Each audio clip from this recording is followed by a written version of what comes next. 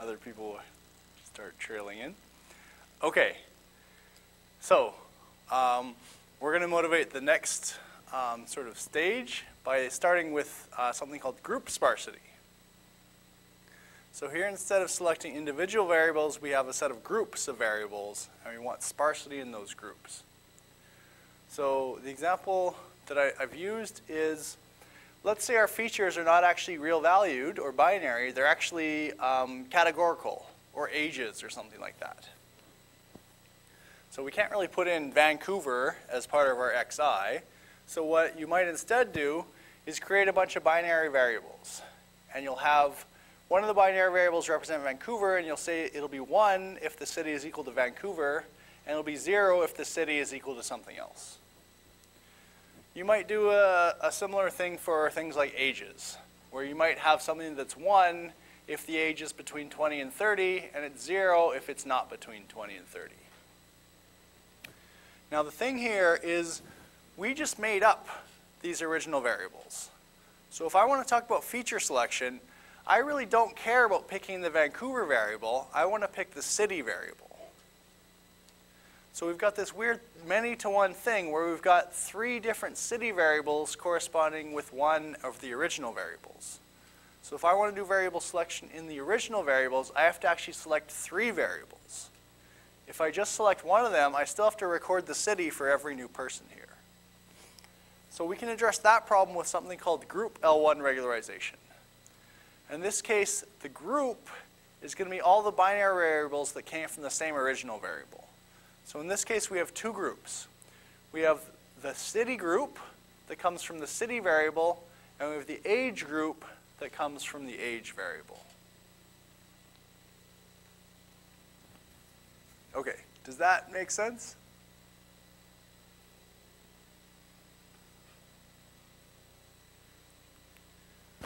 Okay, and that, that leads us to this very weird looking thing called group L1 regularization.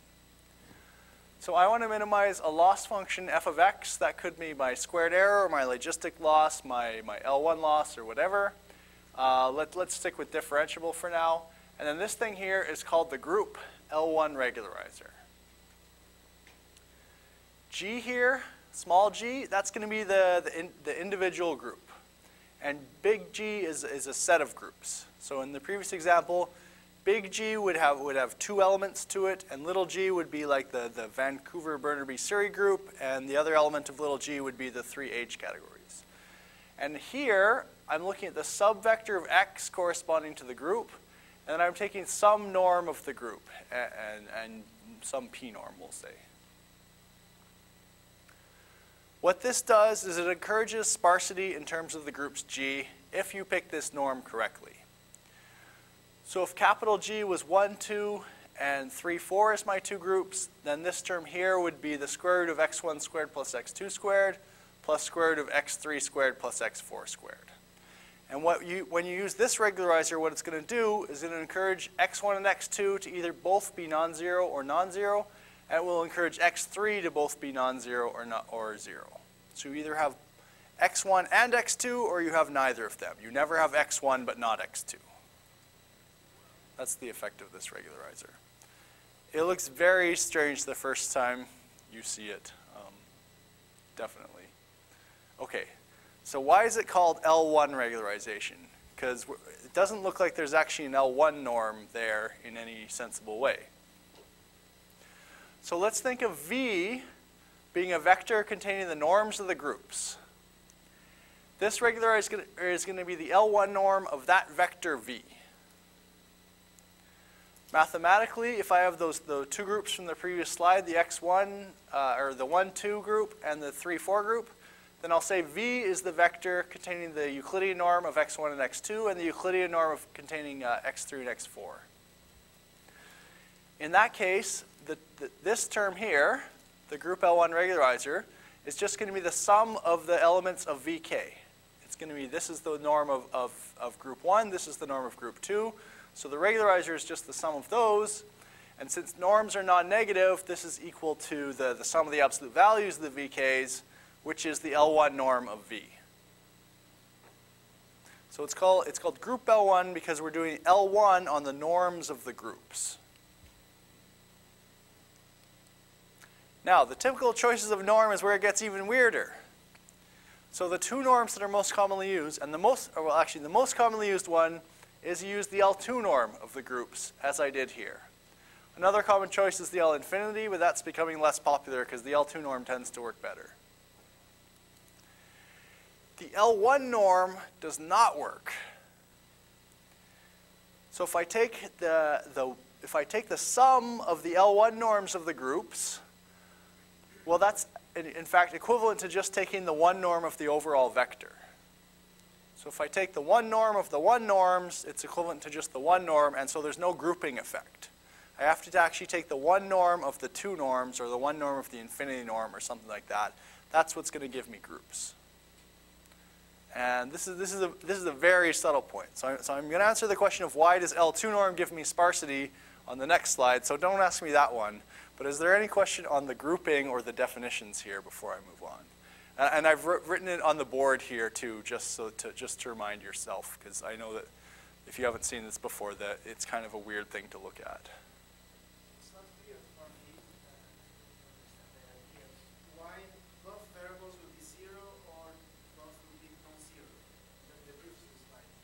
Right. I'll, I'll, I'll show a picture sh shortly of, of why, why you have this grouping effect.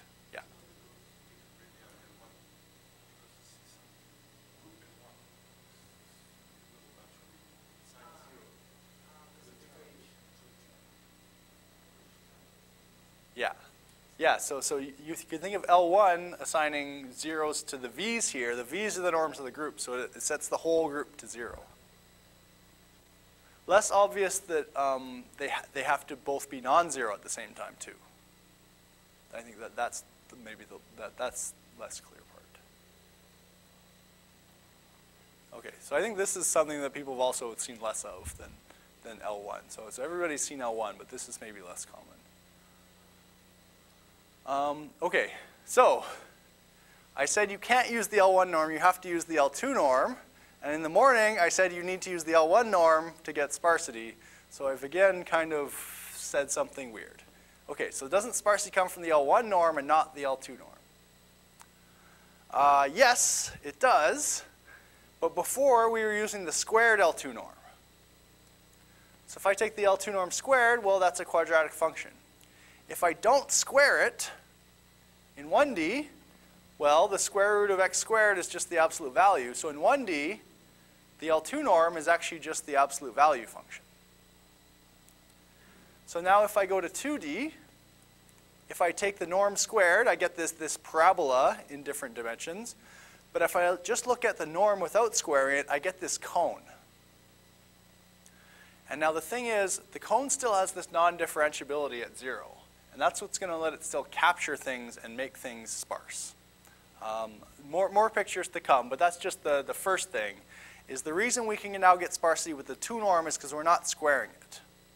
When you square it, you completely kill the sparsity, but when you don't square it, you, say you have the possibility of setting things to exactly 0. Um, okay, I, I, guess I have some text, but I'll, I'll, show this with a picture. So, so if you regularize by lambda times the, the no, just the norm, then for some finite lambda, it's actually going to set all values to 0. So if I just, if I didn't square the 2 norm, and I make lambda big enough, your solution is actually 0 at some point in time. Uh, whereas if you, if you regularize by uh, the, the 1 norm, what is that I got?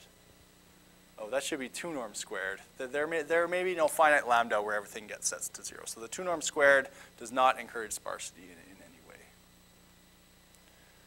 Okay, so another way to show this is by talking about regularization paths. So let's think of solving some sort of regularized problem with different values of lambda. What I'm going to do is I'm going to plot on the y-axis here the different values of w, and on the, on the x-axis I'm going to vary lambda.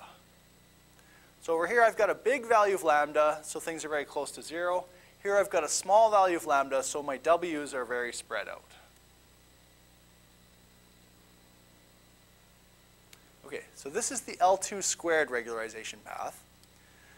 So when I use W squared, the coefficients start getting close to zero, but they're never going to become exactly zero. This will keep going out, and you'll, you'll you, you know, numerically at some point in time, I guess you become zero, but analytically, you never actually hit zero, unless you have some, some very convenient cancellation or something. Now, instead if I, instead if I did the one norm, then there's always some finite lambda where each coefficient becomes exactly zero. So here some of the coefficients go along and then they hit zero and they just stay at zero. Here we have along, and these two kind of hit zero at the same time. And then this is the last one, where it goes and hits zero. And now these variables are exactly zero for any larger value of lambda. And this, this is not numerically, the, the, the, the analytic uh, solution is that they're exactly zero. Now here's what happens when you don't square the 2 norm. So everything starts out non-zero, it stays non-zero, it stays non-zero, it stays non-zero, and then for some finite value of lambda, everything becomes exactly zero. And, and it's, the, it's, because of that point on the cone. Is, is you have the, the you, can, you can imagine the group regularizer as, as introducing this non-differentiability at the origin, and the minimizer is going to tend to be at that non-differentiability once the cone gets steep enough. So when you do L2 norm but you don't square it, you have this finite value of lambda where everything becomes zero at exactly the same time. And that, that's where the grouping effect happens. It's either I'm taking all these variables or I'm taking none of these variables. And I think that's on the next slide. Is if you're below this value of lambda, you take all variables. If you're above this value of lambda, you take none of the variables.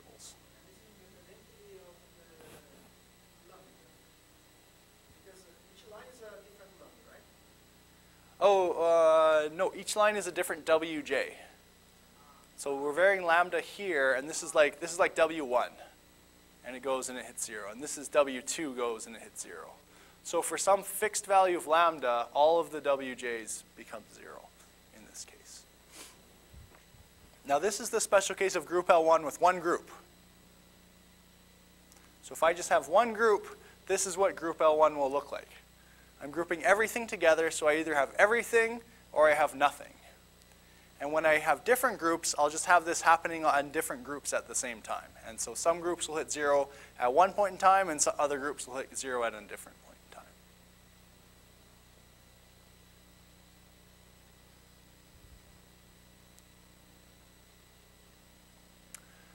time. Um, okay, so, so to draw pictures of the group L1, so if I choose different p norms, if I choose the one norm here, as I said before, it's degenerate. That's just L1 regularization. So in this plot, I'm again plotting the W's as we vary lambda, and uh, I have five groups here. And the groups are denoted by colors. So we've got red, green, blue, um, magenta, and uh, cyan. And so what you'll see is if you choose p equals 1, then it's the L1 norm. So look at this blue group.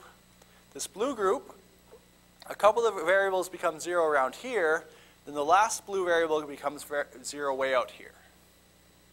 And so this is not really doing a selection at the group level. Uh, you can, pay, you can take part of the group without taking the whole group. If I instead choose the infinity norm, then I get the grouping effect, where you see that the blue ones, well, the infinity norm also tends to make them have equal magnitude, but all of the blue ones become zero for the exact same value of lambda. So here I have sort of dotted lines of where groups become zero. And here you'll just notice there's one blue dotted line because they all become zero at the same time. All of the magenta ones become zero at the same time. All of the green ones become zero at the same time, and so on. If we do the 2 norm, it kind of has a similar effect, but you're not trying to make them equal to each other anymore. So the 2 norm, all of the blue ones become 0 at the same time, all of the cyan ones, and so on.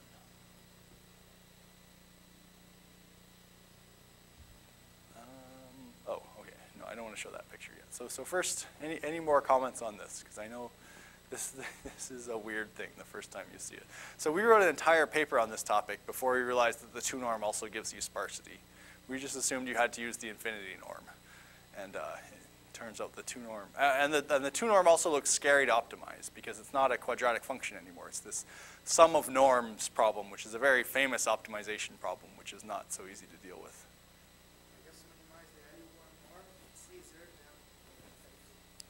Uh, minimizing the, well, it depends on if you're, minimizing the sum of L2 norms is harder than minimizing the L1 norm. If you just have one group, then, then it's, it, it's easy because It's just, uh, you just need to find the lambda that solves it. You just solve the L2 norm for different values of lambda.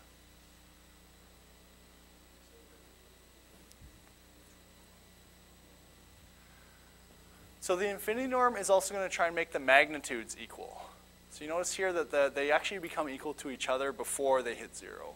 And then that's going to tend to happen. So that, that's, that's the big difference. So that may be good or bad. If your groups are very large, maybe it's nice because you can compress them, because many of them are all exactly the same. But in terms of prediction, the, the 2 norm tends to work a bit better, because that, that assumption is not very realistic in many cases, that the coefficients are the same.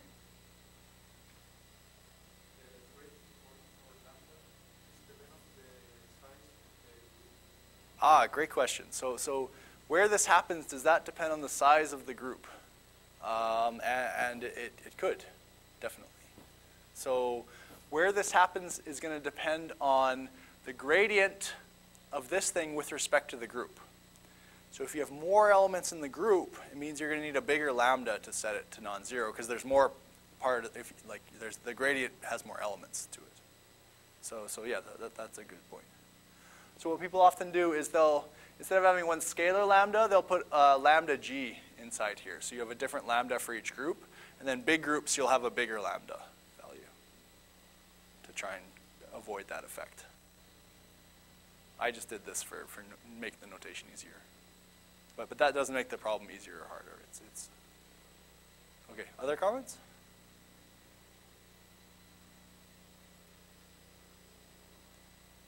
Okay, so before I showed these balls, where if we had the L2 norm, the solution is here, the L1 norm, the solution is here. People absolutely hate the next slide. I've been using it since 2008 in my PhD proposal, and I think like nobody ever gets it, but I'm going to try and show the equivalent for group L1. Okay, so remember this vector V here? Here I'm plotting V1 and V2. So I'm putting an L1 norm on the norms of the groups. And so if I hit a vertex here, it would set the norm of the group to 0. But if I actually plot what's happening in terms of W1, W2, W3, W4, then those have their own function where they've got an L2 ball. Now from this picture, it doesn't look like I'm getting sparsity, but the yellow point here is giving you the norm, is giving you the radius of these two circles. So if this thing moved up to here, it would mean the radius of group 1 would move to 0, and then the yellow dot would have to be at 0 because you would have to be constrained to be at exactly the origin.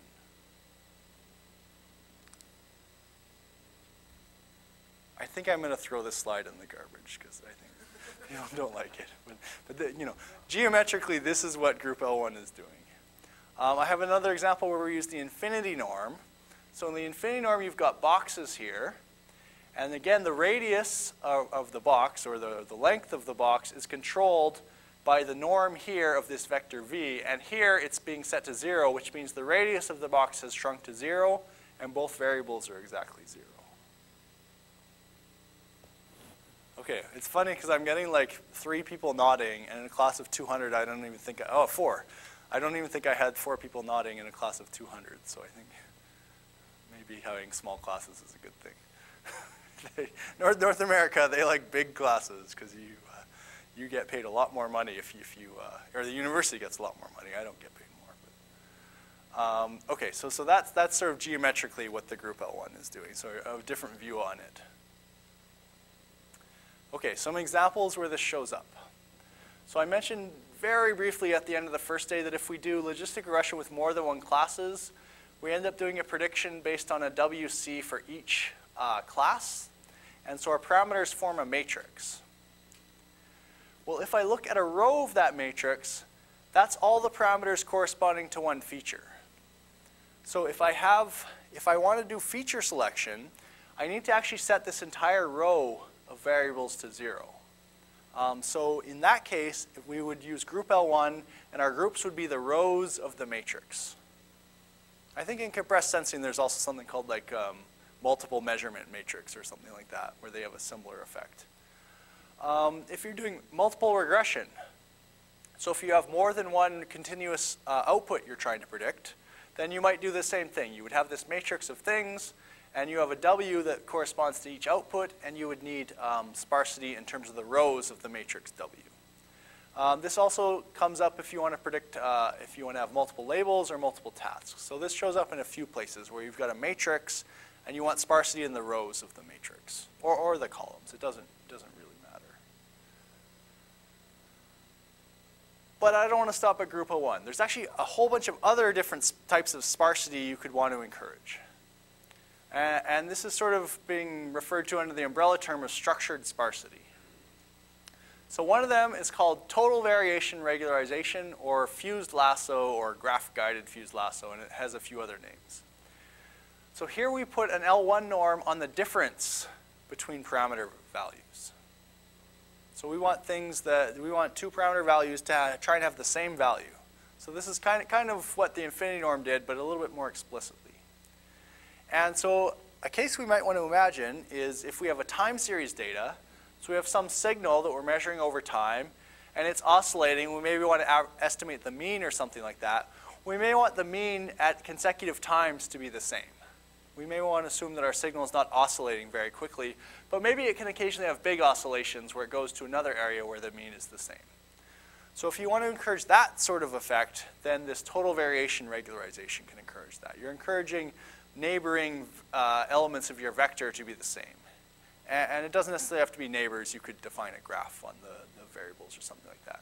Um, the 2D version of that uh, is popular for image denoising, although that's kind of been surpassed by other things now. Um, okay, so total variation. The second thing you may have heard of is nuclear norm or trace norm regularization, where if we're optimizing a matrix now, f of matrix x, you put a, a penalty on the sum of the singular values. And what that does is it encourages the, the matrix to have a low rank representation. So you, it's, it's like you're putting L1 norm on the singular values. You encourage many of the singular values to be zero, and that means you have a low rank representation of the matrix. Um, so if you're talking about multi-class, then you may then the way you think about this is you're approximating your matrix W by this sort of low rank thing, UV transpose, where U is sort of tall and, and skinny, and V transpose is sort of wide and, and short.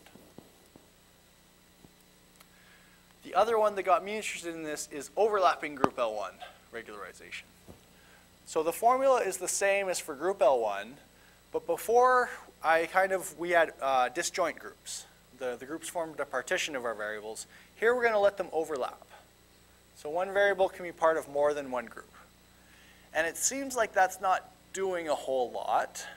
Um, one thing is it's, is it's going to mean you can't do block coordinate descent anymore. Um, but it can be used to encourage sort of weird sparsity patterns. So it, it you can use it to encourage something called intersection closed sparsity patterns. And, and this is best illustrated by example. So let's say I have six variables and I want the sparsity pattern to be a contiguous set of variables. So I either want to have 2, 3, or like 4, 5, 6, or 1, 2, 3, or something like that. So I want the non-zero pattern to just be a contigu one, one, contiguous block of variables. Uh, you can do that sort of thing with group L1 or overlapping group L1 regularization. It requires kind of a careful construction of the groups, but you can have these sort of weird sparsity patterns. Um, yeah, so intersection closed set is just if you, if you take a finite number of uh, intersections, then you stay inside the set. And there, there's another variant that does unions, but I, I don't want to talk about that because that, that gets a little bit ugly. But, but there is another variation where if you want unions of groups, you can do that too. Okay, how does that work? So let's consider I just have group, uh, one group which has 1 and one group which has 1 and 2. So my group L1 turns into an L1 plus a, a non-squared L2 norm. So if x1 does not equal 0, the objective actually is smooth with respect to x2. So x2 just appears here. If x1 is non-zero, then I'm away from the non-differentiable point of the norm here. And what that means is I can easily move x2 away from 0. Uh, if x2 is, does not equal 0, the objective is still non-smooth with respect to x1. So if I make x2 non-zero, well, this term doesn't matter anymore. I can move x1 away from 0, but I still have an L1 norm on x1. So what this type of regularizer does is it says you can only have x2 if you have x1. So instead of, instead of there's not really a grouping, it's actually a hierarchy. Is it's, it's, it, says it's easy to get x2, but it's harder to get x1. So I, I prefer x2 over x1. And with that simple thing, you can sort of build this up into more complicated operations to make those things like the intersection closed sets. So here, there's only two possible, non well, other than everything being zero, you can either have just two or you can have one and two. So there's, there's an asymmetry now that wasn't present when we had the disjoint groups. And so other neat things they've done is let's say we want to have a convex region of non-zeros. So if our parameters are like an image or something on a lattice, and we want them to form blocks or triangles or something like that, you can use a bunch of groups that look like this, and they'll encourage you to have sparsity patterns that are convex regions. I'll show you. okay, so a classic uh, application of something called principal component analysis, which I'm assuming everybody has seen, is this the, eigenfaces. So you have a bunch of faces, and you want to make some basis that's a, that's a good uh, way to have, captures most of the variance in the data. So there was this very influential paper, so PCA has been around for over 100 years. It, it's extremely widely used. But there was this very influential paper in 2001 saying, in a lot of applications, these bases are not very good because they don't really have sparsity. They're not really grabbing parts of the image. They're just grabbing overall sort of average things. So what they said is, let's do something like L1 or let's do non-negative bases or something like that. So, so non-negative matrix factorization. And it gives you things like this. And so their idea was that if we have faces, maybe my, my bases will be like different types of eyes and different types of noses and different types of mouths. And then when you take a linear combination of the basis, you can take like the eyes off this person and the mouth off this person and things like that and put it together. And they showed some pictures in the paper that indicate that it's doing that, but it, it doesn't actually do that. You get, you get so, so green here, which is a little bit hard to see, means sparsity. And you see that actually this is like as disorganized as the PCA bases. It's not really grabbing contiguous parts if you do the structured sparsity, it actually does what you want here, where it grabs like a mouth, or grabs the eyebrows from this person, or grabs whatever this is. I guess this is maybe a face with a shadow or something like that, and these are eyes. So now your basis will actually be parts of images, and you reconstruct an image by putting together like parts of different images. I, I mean, they're not parts of the original image, they're, they're parts that can be used to compose an image. So if you want, if you want a basis with like a very special sparsity structure, this is where structured sparsity comes in. And so if you work, read the work of, of sort of Francis Bach and his student Julien Mairal, they have a whole bunch of applications where they've done sort of neat things where you can use different sort of structured sparsity patterns to get different neat effects. But I, I think this is visually the most obvious one of, of why you maybe want to do something like this is is this is not really doing what it originally intended, whereas when the structured sparsity came along, you can do what you intended. Um, the reason I got interested in this is because it lets you enforce a hierarchy. So we've been talking about linear models, but the first criticism I had of linear models is that they're linear. So maybe you want to add higher order terms. Maybe you want to have quadratic or cubic functions or something like that of your variables, and interactions between the variables.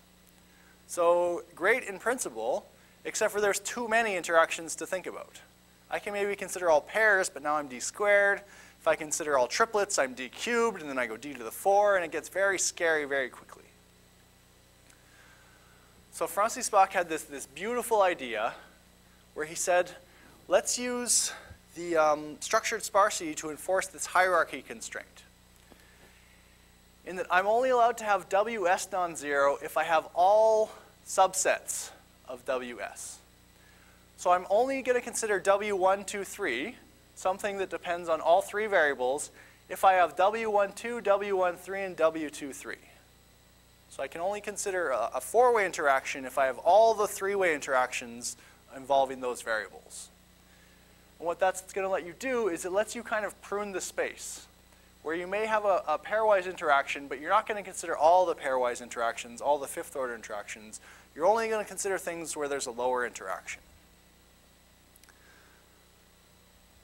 Um, so, so I was doing this for graphical models, and in graphical models, these, these hierarchical representations actually have a very nice interpretation in terms of conditional independence. So there was this neat connection between probability distributions and this hierarchy of the, the basis functions.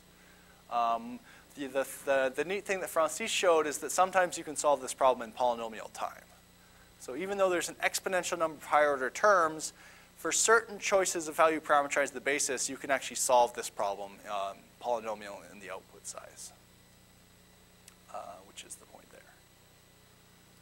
Okay, so, so that, that's all I want to say about um, sparsity and structured sparsity. And this was kind of motivation that I think there's a bunch of neat things that have been developed in the past five years or so, which, which let us have, have models that do things that, that aren't like what previous models did. So, so before I move on, maybe I'll ju just pause and see if there's any, any um, comments on at this point in time. That faces picture, I think, is really neat. Like, like that PCA application, that's on, that's on the cover of several numerical linear algebra textbooks.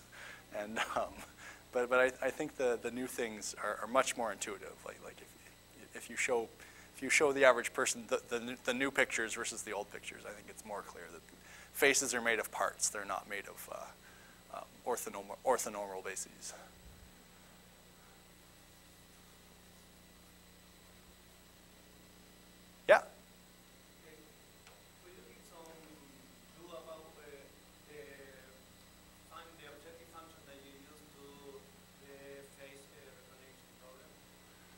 So, um, the, you mean the F?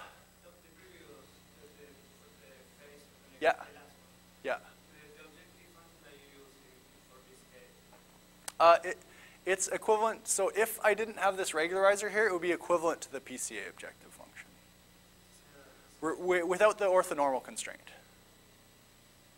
So, so there, there's two views of PCA. There's the, the, the analysis view and the synthesis view. So I think it would be the, if you took the synthesis view objective function and you got rid of orthonormal constraint, and then you added the group L1, you would get this.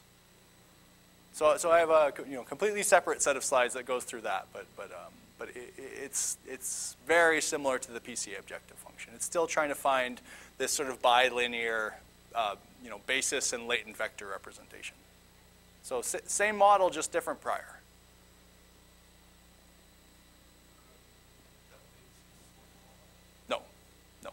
So only the PCA bases are orthonormal. Neither of these bases are orthonormal. So non-negative matrix factorization, they immediately throw out orthonormal. Um, know, a lot of the more recent stuff, even in PCA, they throw out orthonormal because they want to solve bigger problems, and that sometimes causes trouble.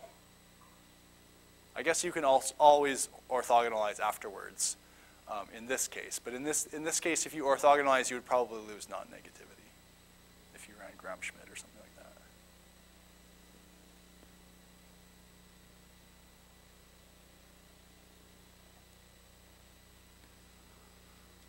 Okay, so we've slowed down a little bit because we actually had some discussion, but this was the end of the first part of the lecture based on the speed I was going at on previous days. But I guess now that we're doing new stuff, we've slowed down a bit, which I think is good. So, so I talked about the convex optimization zoo, the different sort of rate of convergences you can get.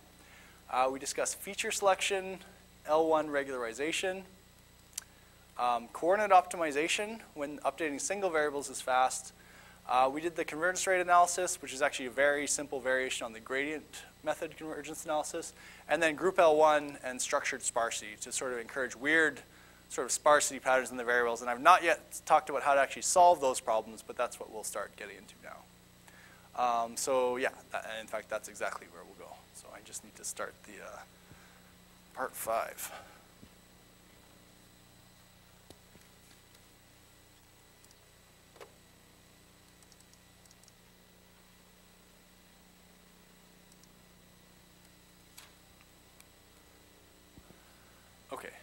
So, so we talked about L1 in the morning.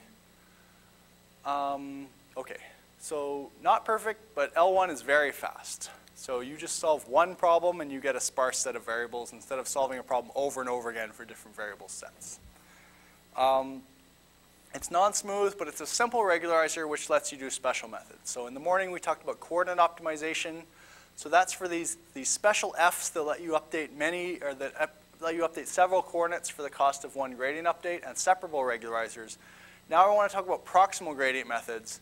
These allow general differentiable f's and general simple regularizers. So we don't need to have the separable assumption anymore with the methods because a lot of the, the structure sparse things, sparsity things I just talked about are not separable. So we need a method that doesn't just apply to separable functions.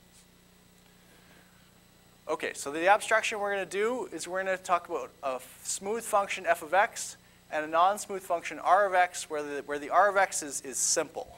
And simple has a very complicated definition, so I'm not going to say what it is yet, but I will just say that it includes things like L1 norm and, group, and disjoint group L1 and things like that. So it's the non-differentiable regularizer that leads to the sparsity, and we can't always apply coordinate descent because in some of those cases R was not separable. So in, when we had the group L1, we had this grouping effect, so it's not a separable function anymore. But we don't want to use these 1 over epsilon rate methods. Uh, so we want to ask, are there faster methods for this more general structure?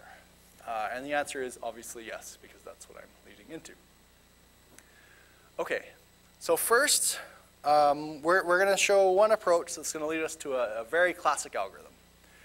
So last time we talked about rewriting non-smooth problems as constrained problems, so that's, that's the first approach you might take. And there's various ways to do it. So if I have minimizing f of x plus L1 norm, um, I think the one we did last time was this one, uh, where you introduce these new variables and they have to bound the original ones. But could, there's various ways you can do it. You can turn it into a problem with bound constraints, which I really like, because uh, solving problems with just non-negative constraints, that's, that shows up all the time, because often you're doing things in the real world and having negative values doesn't make any sense. Um, or you can have a you know, constraint on the one norm or, or various things. So whichever one of these ones you choose, what you get is a smooth objective and you get what I call simple constraints. And the, the easiest ones to think of as simple as these ones. So, so think of simple constraints as just the variables have to be greater than or equal to zero. That, that, that, that's definitely a, a simple constraint by, by any definition you can think of. So we're talking about minimizing f of x over some simple convex set. So the way I talked about it yesterday is we're going to view gradient descent as minimizing some sort of uh, quadratic approximation.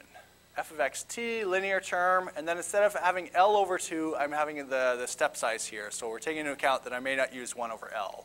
So in the general case, you would write it like that. Now, if we have simple constraints and we have this view of the world, the simplest thing we can think of is, well, I'll still make the quadratic approximation of my function, but now when I minimize it, I'll minimize it over the convex set. So I'm still making the, this quadratic upper bound or quadratic approximation to my function. But now I'm going to say when I minimize the bound, I'm not going to go to the minimizer of the function. I'll minimize the function over the convex set. So it's a natural th thing to think about because you know your constraints are going to be satisfied and you're hoping to decrease the objective function too, uh, which it will do. So I want to rewrite that in a little bit nicer form, which is how you actually implement it. So the first thing I will do is um, drop the constant f of x t and multiply by alpha t. So I get I, this thing cancels out and I get an alpha t here. That term is constant in terms of y, so we can ignore it. Uh, the next thing I do is because I'm, I'm going to want to complete the square here, so I'm going to add uh, and uh, this extra term, which doesn't um, affect the minimizer because it doesn't depend on y. And now I'm going to complete the square. So I get this nice, uh, beautiful expression here. And then I'll just rearrange the brackets. And I write it into this very nice form. Why is this a very nice form? Well, this thing right here, I have written over there. This is gradient descent. So I do gradient descent, and then I do this, this minimization over the convex set of finding a point that's close to what happens when I do gradient descent. And so this is a really nice way of thinking about it when you want to generalize the algorithm or when you want to know how to do Newton's method properly in the, in the constraint setting. But this is how you'll actually implement it, is, is you do gradient descent and then you solve this minimization problem. And what this is called is an algorithm from the 1960s is uh, projected gradient. So first I do gradient descent. I do xt minus step size times gradient. And then I solve this problem here, which is called the projection on the convex set. And so some of you have seen projection on convex sets before. If, if you've only seen uh, projection in linear algebra, it's a generalization of that. So when you project onto a subspace in linear algebra, you find the closest point in the subspace to a point. Now we're finding the closest point inside a convex set to a point. Um, so, so subspaces would be a special case of that. And I'm going to call a set simple if the projection I can compute very quickly. So if I can compute that in like d log d time or, some, or, or O of d or, or something like that. So something that, that's not a higher order polynomial, I'm going to call that a simple set. So a simple set is something where I can compute the projection for large scale problems. So, so sort of complex definition for a, uh, the, the notion of simple. As a picture of this algorithm, let's imagine I want to minimize the function f but I have constraints. So in this case, my constraints are that I need x to live inside this pentagon. So other, otherwise, I'm, I'm not happy with the solution. So I first take my gradient descent step, x minus step size times gradient. Now I'm going to compute the, the projection. So the projection of this green point is the, the point inside the pentagon that's closest to this green point. And in this case, it's actually that point. Uh, and, and, in fact, for, for linear sets, you, it's always going to be orthogonal to one of the, the planes. Uh, and now the step I take is actually the combination of these two steps. I'm going to move towards this, pro this projection of the gradient. And you can show this has very nice properties, which I'm probably going to list on the next slide. But the two nice properties are, one is if you take a small step in that direction, you're guaranteed to satisfy the constraints, and you're guaranteed to decrease the objective function. So those are sort of the two very nice properties you want of a constrained optimization algorithm. Here's another beautiful property. If I go to the convex optimization zoo, I've just listed four cases here. But if I redid the, remember this, this big list of things I had? If I made a second column where I had projected gradient there, they would all be exactly the same. So if I do projected subgradient, I get the, the 1 over epsilon squared. If, I, if, if f is strongly convex and has a Lipschitz continuous gradient, I get log of 1 over epsilon. If I do quasi-Newton, you have to be a little bit careful, as I'll, I'll show you shortly, but you can get superlinear. Um, if, you, if you do Nesterov, combine that with projection, you can get the 1 over square root of epsilon.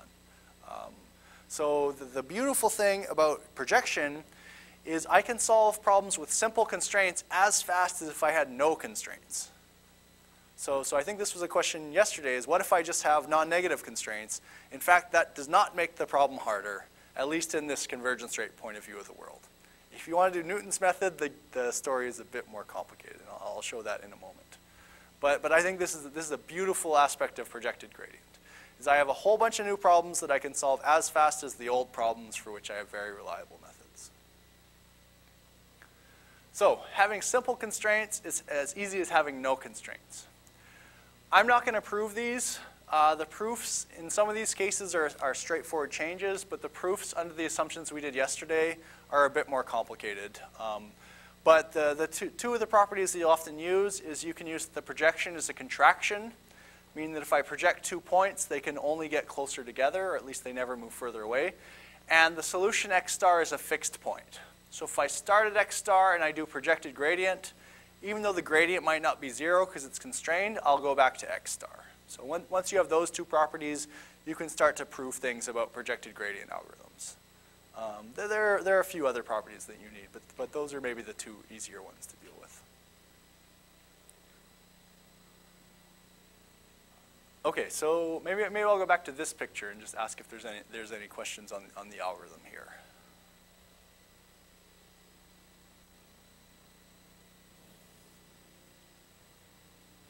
It's again one of these sort of algorithms that's very, it's, it's very old. It's from the 1960s. It's been around over 50 years. But um, it sort of has become popular lately because we've realized that sometimes we really do just have simple constraints. We don't want to we don't want to run f, fmincon if we only have bound constraints. We want something much uh, that, that's much more scalable than that. We don't want to have to with deal with Hessians of Lagrangians and so on. Not that there's anything wrong with that. Okay, so we need to talk about what simple sets actually exist. So the one I mentioned is if you have non-negative constraints, the projection actually just sets negative values to zero. So when, if you're doing gradient descent and you want to add that constraint, this is the first thing you'll try, and it works. It preserves all the theoretical properties, the, the, the first thing you would try. If you have general low and upper bounds, then you would also do the obvious thing. If, if you go above the upper bound, you set it to the upper bound. If you go below the lower bound, you set it to the lower bound. If you have a small number of linear equalities, that's okay. It's just that's the usual projection onto a, a linear set. If you have a small number of linear inequalities, it's a small quadratic program. So if you have maybe like five linear inequalities, then it's not a problem. If you have a thousand linear inequalities, then it's not a simple set anymore. Then you have to solve a, a QP, it's kind of nasty. If you have the probability simplex, so if your variables need to be a probability, they need to be non-negative and sum to one, there's a randomized algorithm that will compute that in linear time. So, so that's also a simple set. Uh, many norm balls and norm cones are simple. So, so the L2 norm is, is re really easy to do. Um, the L infinity norm is also pretty easy. And the L1 norm, there's, there's also randomized algorithms that will do it in. So, so all of those are simple sets. Um, if your convex set is the intersection of simple sets, there's something called Dykstra's algorithm, which will let you compute the projection onto the intersection of simple sets. And if you're from computer science, uh, I did not spell Dykstra's name wrong. This is a different Dijkstra who has a famous algorithm named after him, which I think is an interesting historical note. Um, okay, so projected gradient for L1 regularization. So if I have L1 regularization, I can turn it into a problem with simple constraints, and I can apply projected gradient. And I can do that for group L1. I can do that for, for all sorts of different things. Um, some of those structured sparsities, the sets are not simple uh, but I'll, I'll talk about them later. But this might not be a good idea. So this is, this is an okay thing to do. I think it's better than applying like a subgradient method or something like that. But the transform problem might be harder to solve. And I'll give the example of strong convexity. So let's say f of x was strongly convex. So f of x, eh, if I'm doing like least squares, then, I, then my Hessian is x transpose x, and I'm assuming x transpose x is positive definite if I look at the Hessian of the transformed problem, it has this structure. And the important point to note here is that this set of rows here is the negative of this set of rows. So I always have at least d uh, zero eigenvalues in there. So I took a strongly convex problem and I turned it into a problem that's not strongly convex anymore by transforming it. And often you lose something when you transform. So at the start we mentioned that if you take a non-smooth problem, you smooth it, you don't actually improve the convergence rate. And so here it's kind of like that, where you took a, a sort of problem that had some nice structure, you turned it into a problem that you thought had nicer structure, but you lost some of the original structure in the problem. So it's often nicer to try and develop methods that work with the original problems and take advantage of the original structure rather than doing transformations. Um, okay. Ah. So when I was doing my course, this was the point in the course when I realized that I absolutely hate PowerPoint. PowerPoint. So, so unfortunately, if you really love PowerPoint, you're out of luck because everything else is in Beamer. and, and, if you hate PowerPoint, then, uh, then uh, yeah. So, so it's going to look a little bit nicer from now on. Um, okay, so projected gradient. So if we're talking about group L1 regularization, I can use the same trick I used on the first day, I think, or poss I think maybe it was, this, it was the second day, is I can turn it into a problem that's smooth here, so just f of x plus a linear function, and then simple constraints. And then I, I can use projected gradient. So here I've used L over 2, and written in nice typesetting, we have our gradient step, and we have our projection step. So I, I, there's another picture of that, but I'll just skip through it. It's, it's the same idea. So here we have non-negative constraints. So a variable went negative, and we set it to zero. So where I ended is transforming the problem might actually make the problem harder. And we want something that applies to the original problem. So we're going to take this view of the gradient method, where the gradient method makes some sort of quadratic approximation and minimizes the quadratic approximation. I showed this as a picture yesterday. And we can equivalently write that quadratic approximation as this sort of trivial projected gradient problem where I'm projecting onto RD instead of projecting onto C. So, so there's, there's, there's no real you know, implementation reason you would do that, but if, if you solve that problem, you get the, the gradient algorithm. Okay, this is where proximal gradient method comes in. So I'm going to minimize a smooth plus a non-smooth function. That's where proximal gradient methods show up. That, that was the, the sort of generic framework we were looking at to, to solve all these structured sparsity problems. What I'm going to do is I'll still make a quadratic approximation to f, the non-differentiable part, but to approximate f of y plus r of y, I'll actually just add r of y to the other side. So I'm still approximating my, my differentiable f, but r I'm not approximating. r I'm just including exactly. So if r is the L1 norm, I'll have quadratic function plus L1 norm. Now I set my iteration to be the minimum of the quadratic function plus this extra non-smooth part. We can write that as what's called the proximal optimization, where we're computing something here called the proximal operator. So it still has this, this notion of smallest Euclidean norm, but then we actually add our function explicitly, and the solution of that we call the proximal gradient algorithm. And I've also written it up here, just so you can see it as I go along. So we've got gradient step, and then proximal step is the solution of this thing, although I've used G instead of R. So, so I'll, I'll just let you stare at that for a moment. So just like projected gradient, where we, where we took this approximation and we said we're going to minimize this over C, now I'm saying, well, I have a non-smooth function, and I'm just going to minimize my function plus the non-smooth function. So, so I've still, I've still, still a proper upper bound on my function if I use L.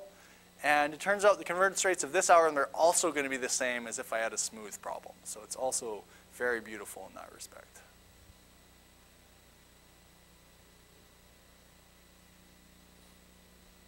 If you can understand this slide, then that, that's almost everything there is to know about proximal gradient. The, the proofs kind of look, they're a bit more complicated because you have to use similar things to projected gradient, but they're, uh, they're, they're not too bad.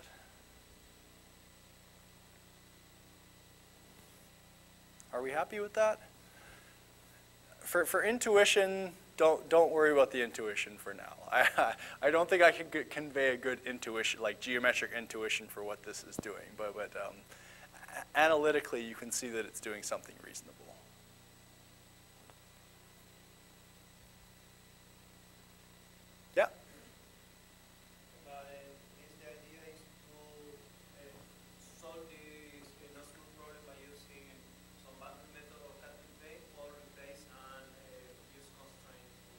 Yeah, great question. Yeah, okay. So, so I, have introduced a new problem in that now you have to solve a non-smooth problem. And so you, you may think of doing subgradient or cutting plane or things like that. What I'm going to say is we're going to need R to be simple. And we're going to say a simple R is one where I can solve this problem quickly. So I'm going to kind of completely skip that, that issue and just say that we're using R's that are simple enough that I can solve this problem. This is definition for a simple R. Yes. So it's even more complicated. So a simple function R is one where you can quickly solve this problem. So definitely true for L1 norm. Not true for all the things, not true for all the things I showed. And in general, you may have to do something like subgradient or bundle method or something like that. So, so in those cases, you kind of lose the benefit of this approach if it's too complicated. Definitely. So, so again, yeah, we're, we're just talking about special problem classes here. Yeah, definitely. Yeah, so, so, so I would say that separable R's are almost always simple. You, you can always, you can even do like a bisection search on each one, like, like to, to do coordinate optimization, yeah, for sure. Because this, this is a separable function. And so if this is separable too, the whole thing is separable, and it's great.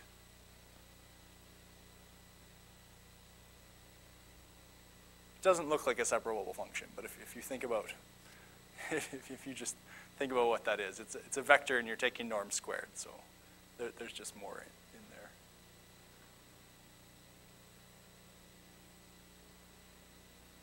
there. Uh, remember, y is the variable here, so th this is just a constant. Okay, so we can write proximal gradient in this form, where we take a gradient step And then we compute this thing called the proximal operator, which, which I'll leave up there with, with G instead of R. Um, okay, so the nice thing about it is, and this time I've done big F instead of little f to denote uh, little f plus R, is the convergence rates are still the same as for minimizing f alone. So if, if the gradient of f, is Lipschitz continuous, if f is mu strongly convex and g is convex, you get this 1 minus mu over L, where the mu over L come from f and not from the simple set R. Which means that I, I can add L1 to any function, and I can solve it at the same speed as if I didn't have L1 there. And I, I think that's, that's really nice. Is there's all these sort of non-smooth problems that are just not harder to solve than, than if I just had a smooth problem. If I, want, if I want to have something live on the probability simplex or do disjoint group L1, it's, it's, all, it's sort of the same thing. Proofs are a little bit more annoying, but, but, but, uh, but the, they're based on the same ideas. You, you have some upper bound from the Lipschitz condition. You have convexity, which sort of bounds how, how, much, how much further away the solution can be, and you have to somehow combine those bounds to get the final thing.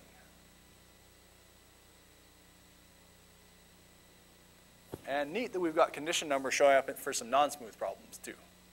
Because, you know, if, if you hadn't seen this mu over L thing before, you may have come into this session just thinking condition numbers for linear systems, but actually condition numbers apply to a whole host of problems where they're relevant. Okay, so the proximal operator is the solution to that problem. And I just want to talk about the special case of, of L1. So I have, I have lambda is my usual lambda, alpha t is my step size, and this is my one norm of y.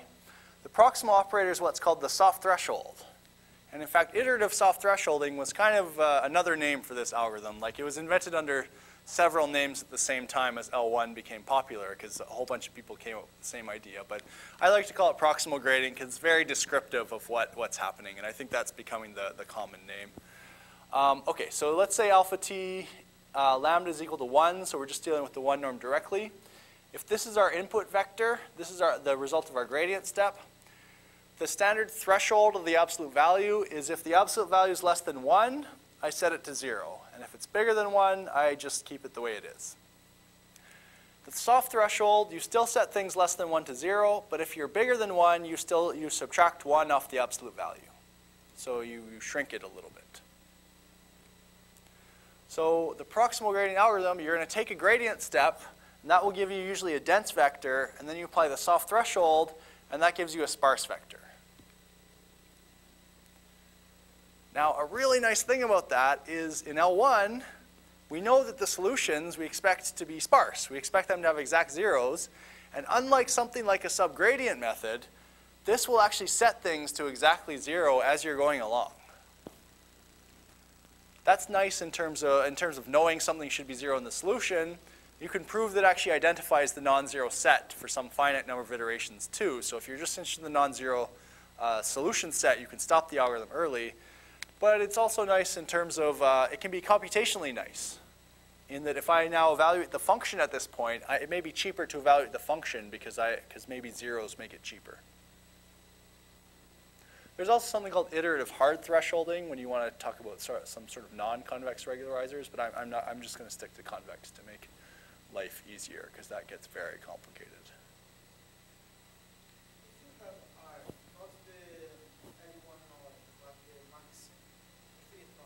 Yeah.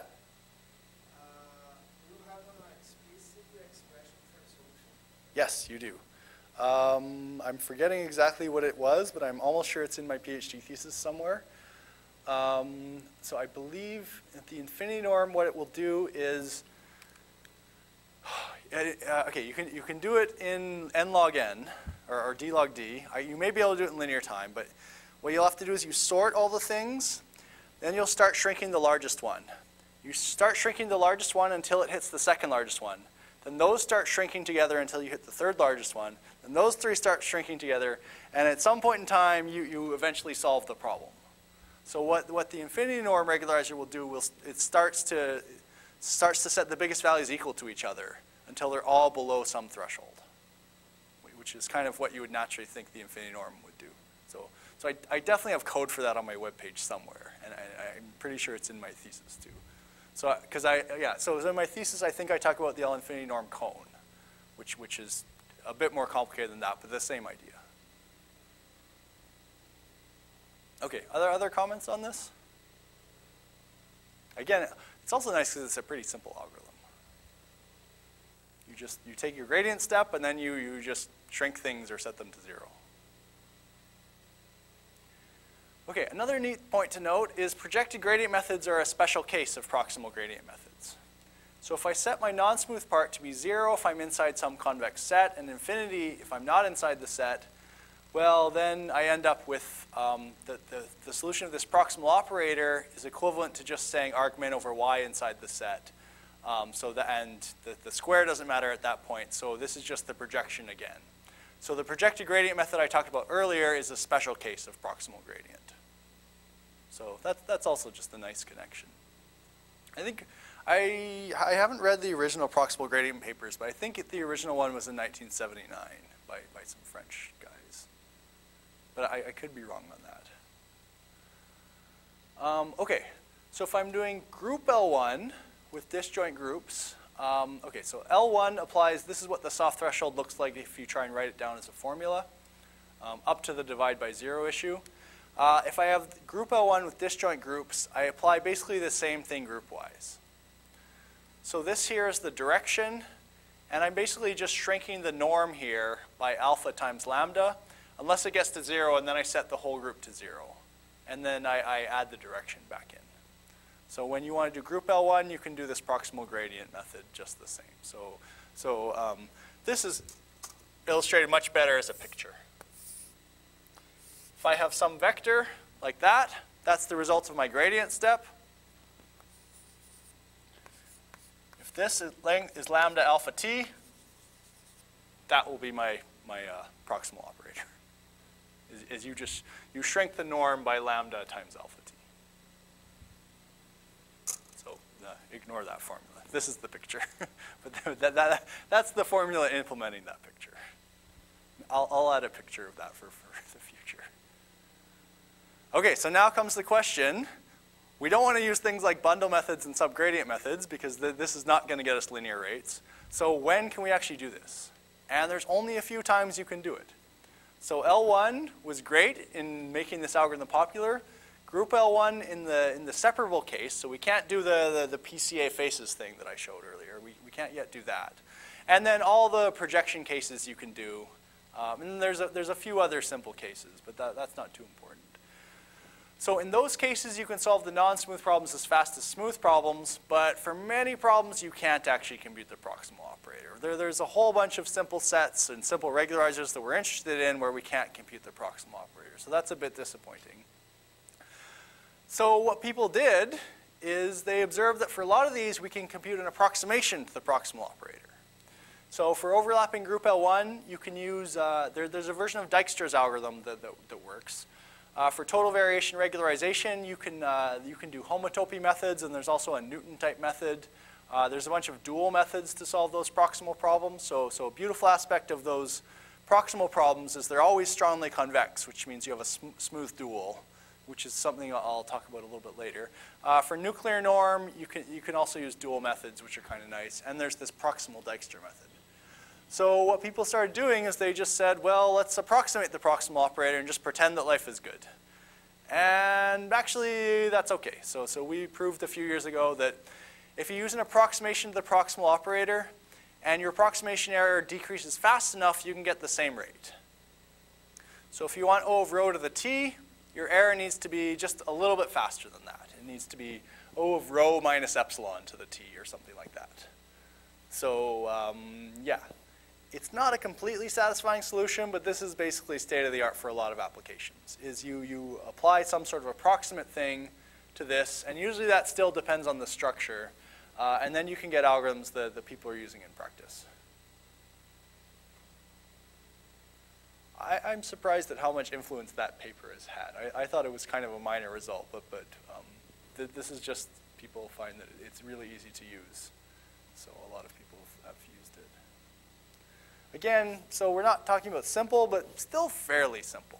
I think if you had a general non-smooth R, you're still out of luck. You're still, you're still have, we don't have linear algorithms for all non-smooth things, but, uh, and it, I don't think you'll ever be able to do that. But it seems like every new problem you, you can encounter, you can often come up with some structure that, that lets you solve it a bit faster. Or at least th this has been the trend the last maybe 10 years or so. Okay, I think that's all I have. Oh, I have a little bit of discussion. Okay. So the solution is a fixed point. So this is a nice property in that if you apply, if you take the gradient step and then you take the proximal step and you, you get back the same, same value, then you know that you're done. So it, it's, a, it's kind of, you have this nice certificate. Um, yeah, so with alpha t less than 2 over L, you're guaranteed to decrease the objective function. You can again use an adaptive step size or some sort of Armijo search to set the step size in practice. Um, it always generates a, a, feasible descent direction. So if you just compute the proximal operator and you look along the line between your current point and the new point, that's always guaranteed to decrease the objective and satisfy the constraints. Um, and of course, you can do the Armijo line. Oh, I see. So, so this is a subtle point, but th there's something called backtracking along the projection arc. If your proximal operator is really cheap, um, maybe this is also best illustrated with a picture. Uh, Bertsekas has great pictures of this in his textbook. But I think it, it's kind of a neat thing. So we have our convex set, we have our point, and we're, oh, I don't want to go that way. I don't know. I want to go maybe this way.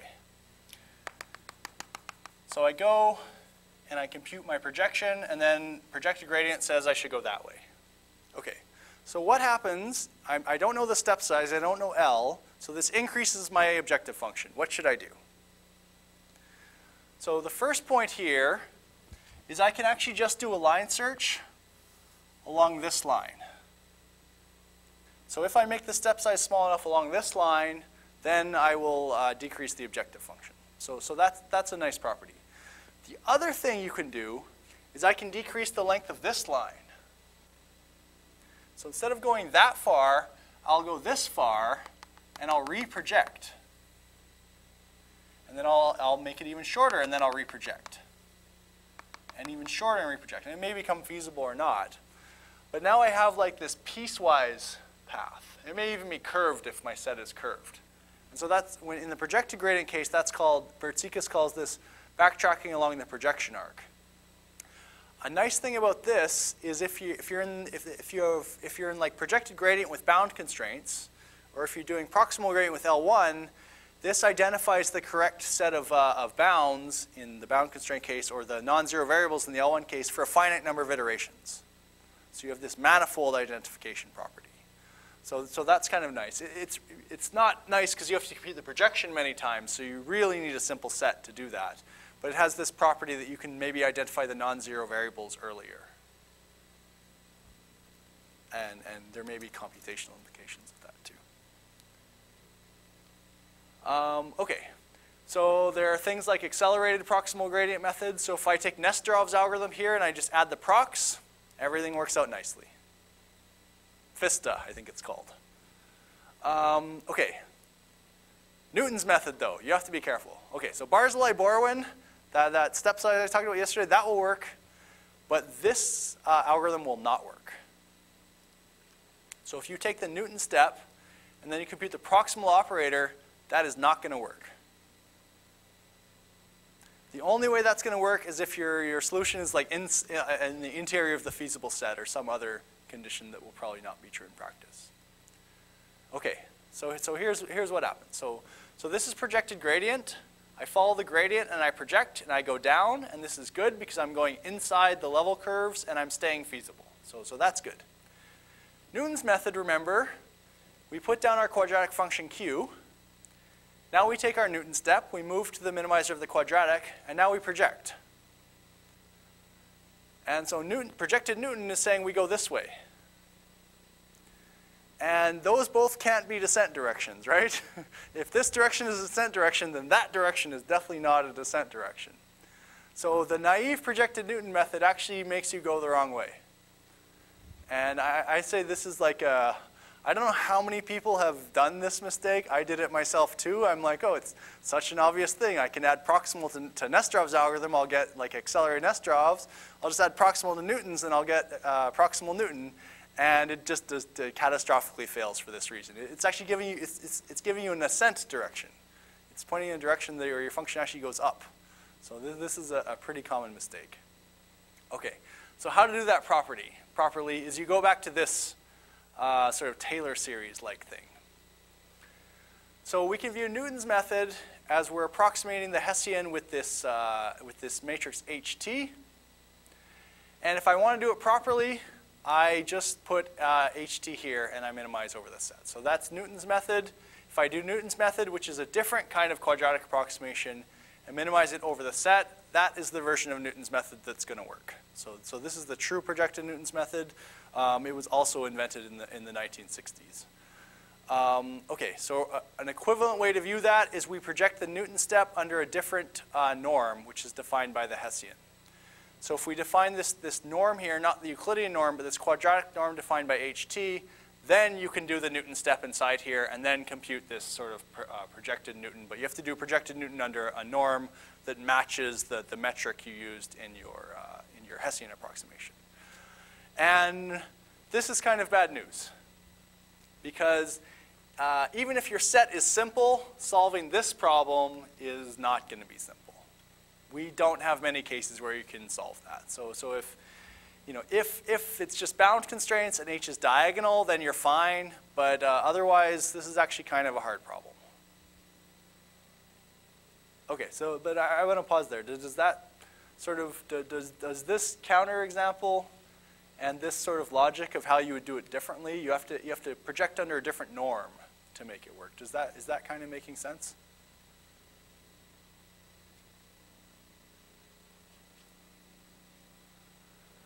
Okay, if you want to do proximal Newton, uh, bas basically the same thing. I'm going to add R of y to this, to the, this thing. And, and now you can really get superlinear convergence if you can solve that problem, which is a big if. And of course, that's going to be expensive even when R is simple. So there's a variety of things you can do to approximate it. So Barzilai-Borwein or diagonal HT, you can do that, and that usually doesn't change things very much. So, so that's often easy to solve. There was even a paper maybe two years ago showing if HT is diagonal plus rank 1 and R is L1, you can still solve it, which was kind of surprising. And it's better than diagonal, but rank 1 is still uh, kind of not perfect. Okay, if you have a separable R, there's a special class of methods introduced by Bertsekas called two-metric projection.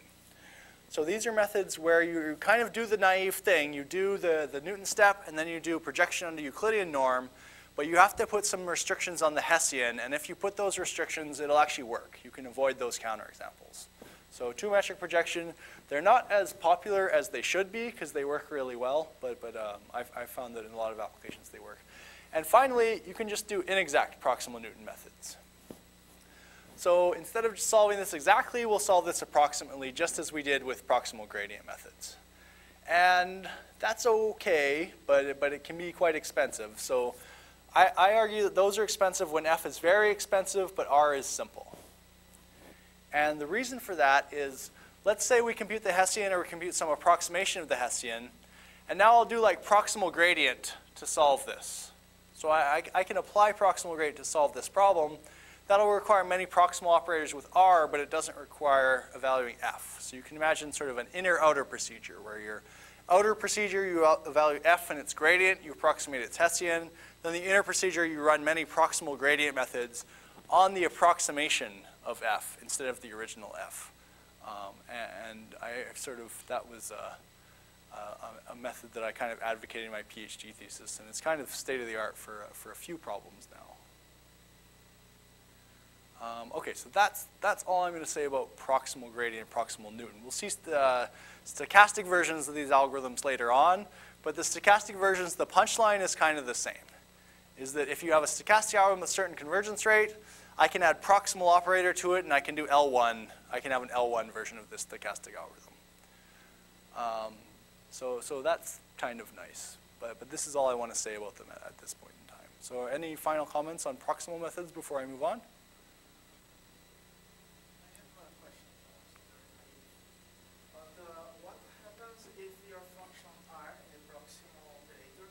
is non-convex. I know that's a really hard problem to solve. Ah. But imagine if you are able to solve the proximal, the, the uh, the. Yeah, it's, it's, um, well, people do this. So, so iterative hard thresholding, and there's a few other people that are doing this. Um, the analysis gets very ugly, and you have this very weird thing that the step size matters a lot more. Because the problem with the non-convex case is you don't have this property that as the step size gets smaller, you necessarily turn it into a descent direction. If it's non-convex, if you make the step size smaller, you may actually turn it into an ascent direction. So it's you end you, so so people do it and it works for a lot of problems, but you open up a whole bag of issues that, that don't show up in the convex case. I think there's very there. I don't think there's any convergence rate analyses for such settings too. Um, yeah, so so iterative hard thresholding, I guess, would be the first thing to Google and then go from there. I'm sure there's tons of papers on this topic. because I was thinking about R like uh, the integral function of a discrete set. Yeah, yeah, yeah, exactly. So, uh, so yeah, people have looked at that. People also looked at the case where F is, is non-convex. That's actually not too bad. There, there you get sort of the standard non-convex results come out. Yeah. Yeah, so F, F being non-convex is not too bad, but R being non-convex, this is something that people have only looked at fairly recently. And, and I, I'm not up to date enough on that to, to say too much. Okay, other comments?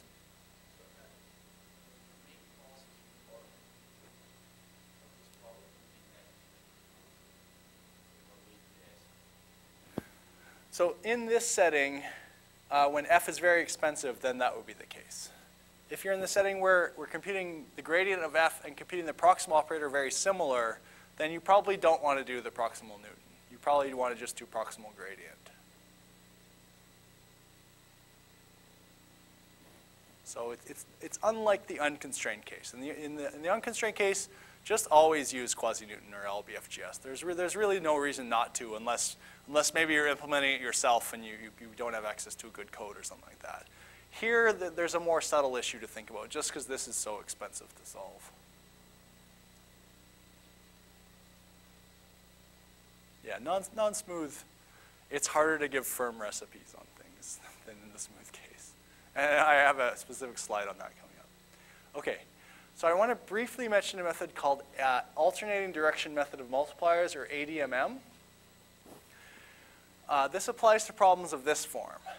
f of x plus r of y, I don't think either of them actually has to be smooth, uh, subject to linear constraints that are sort of coupling those two problems together. So ADMM alternates between two proximal operators, one for f and one for r. And the reason that's relevant in terms of uh, the context of things we've been talking about is if you have a problem that looks like f of ax plus r of x, well, I can rewrite it in, in terms of, in this form by doing like that, by introducing a new variable y and introducing these extra constraints. So for some of the problems uh, that, that, are, that are too nasty for even the proximal methods, you can still do this ADMM method.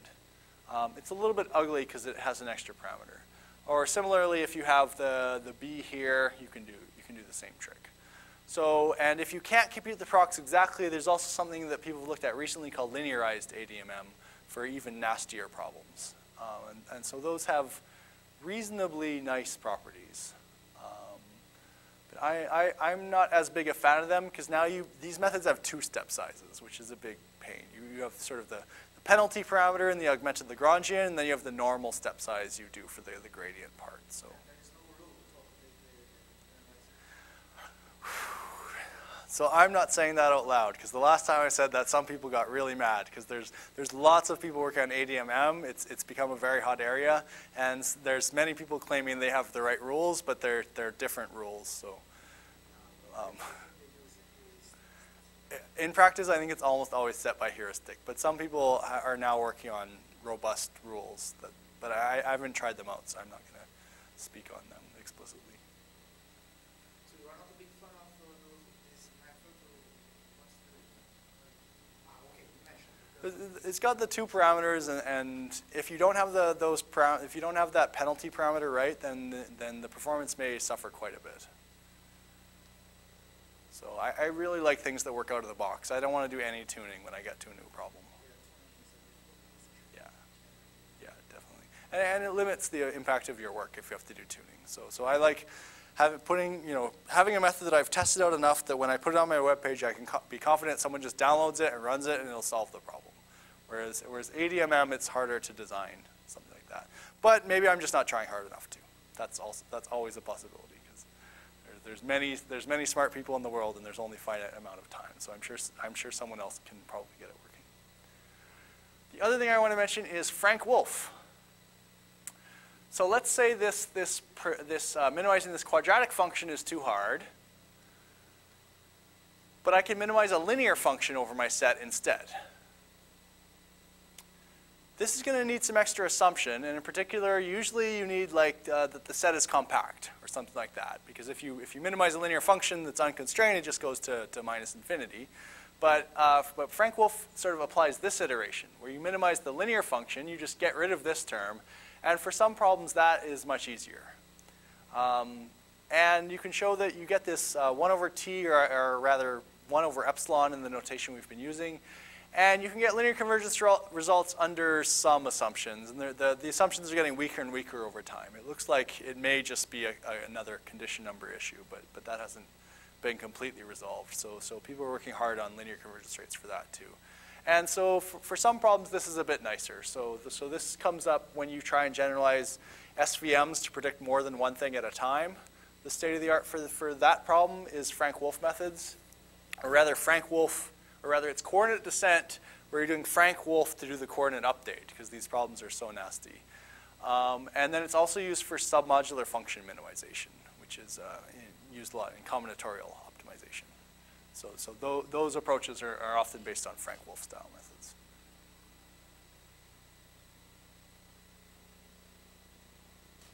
Uh, and I think that's all I have to say about non-smooth optimization. So maybe I'll just wrap up. So, okay.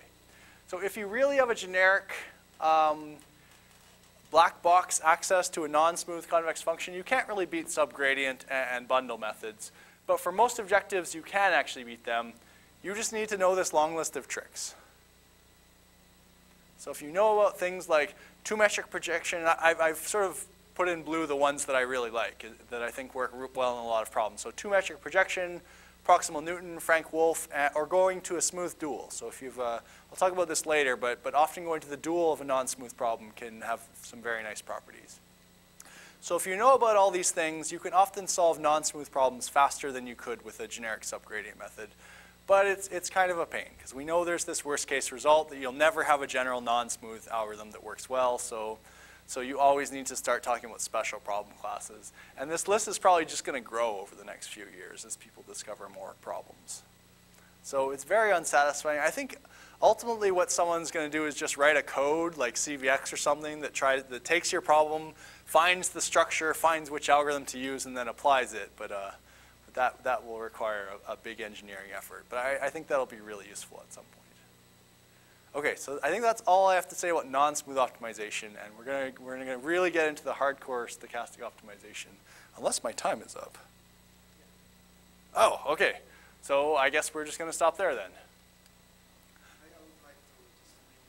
My my alarm did not go off. Sorry about that.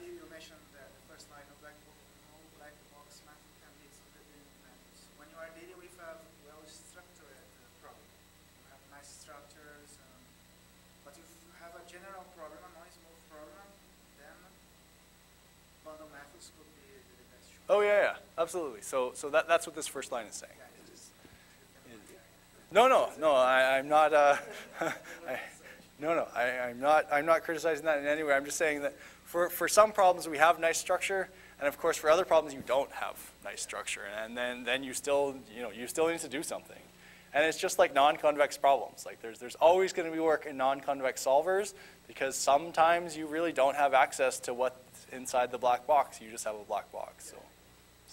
There, there's plenty of applications where all you have is the black box. So I, am just giving the, the alternative perspective. So, so, if this was an optimization course, you would spend another several weeks talking about subgradient and bundle. So I'm not, I'm not going to talk about bundle, but I'm definitely going to talk about subgradient. Yeah. Okay, sorry about going over time. I For some reason, my alarm didn't go off.